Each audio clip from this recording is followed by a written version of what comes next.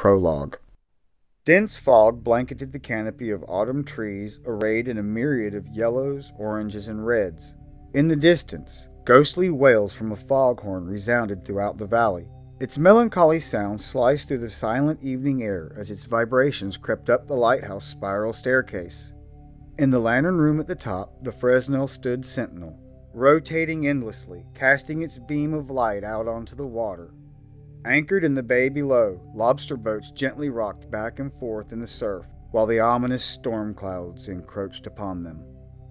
A large black crow landed on the shoulder of the Blessed Virgin Mary's marble statue, which stood watch over the monastery lawn. Dangling from the sacred maternal hands, a long strand of rosary beads swung back and forth in the coming storm's steady breeze. Loud cawing emanated from the crow's black beak as the bird spread and flapped its wings vigorously. The feathered hunter took a moment to study its surroundings before flying away to find safe haven from the impending storm. Rumblings of thunder filled the air as streaks of lightning clashed with the ocean in the distance.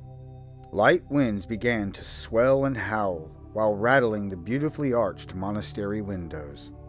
Raindrops steadily tapped the colored panes of glass, echoing throughout the corridors as the storm began its descent upon the campus.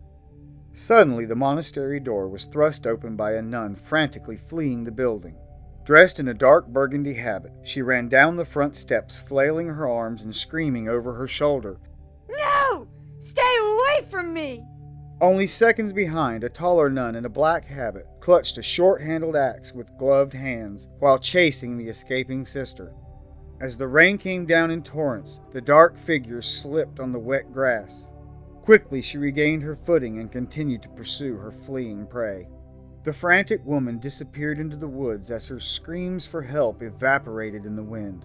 Her burgundy habit flared out behind her as she tried to escape. Evergreen branches slapped her face and scratched her arms as she tried to elude her pursuer. The nun's only goal was to find a safe place to hide.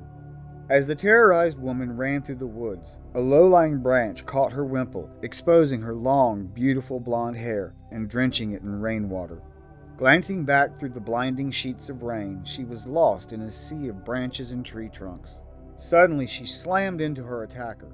Tears burst from her blue eyes as a look of absolute terror and recognition came upon her. Why are you doing this? What have I done to deserve this? What have you done to deserve this? The dark nun mocked. You really don't know? Peering into her eyes with disgust, the ghastly nun grabbed her arm so hard that the blonde nun could feel nails clawing into her skin.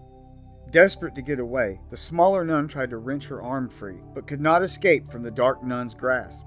Please let me go. You know I love you. Immediately, the assailant vehemently ordered, On your knees, sister. Panicked, the frightened woman emphatically pleaded. No! Don't do this! Then, falling to her knees with her palms pressed tightly in front of her, she begged. Don't hurt me! Please! Without hesitation, a gloved hand brutally slapped the nun's cheek. Why not? I've suffered silently for years due to your mistakes. You will never comprehend how much pain you've caused me. Mud covered the side of her face as the nun fell. Her long blonde hair splayed out onto the wet ground. Frantically attempting to rise, the final thing the frightened nun saw was a sharpened axe blade swinging toward her. A grimace of shocked surprise was frozen on her face as her severed head landed on the ground. Her wide open eyes blinked twice as her lips voiced a silent protest. Her lifeless body slumped in the mud beside her head. Deep red blood spilled from her open neck, mixing with the falling rain into dark puddles like tears. Deliberately, the murderer trudged through the mud to where the nun's headpiece hung loosely on the branch of a gnarled old tree. Lifting it up in the rain, the killer inspected the wimple for any tears before hiding it in her own habit. Still holding the bloodied axe, the murderer turned to study the victim one last time and then slipped away silently, fading into the shadows. Somewhere in the dark of night, restless eyes twitched erratically beneath their slumbering lids. An eerie moan escaped between the chapped lips of its confinement.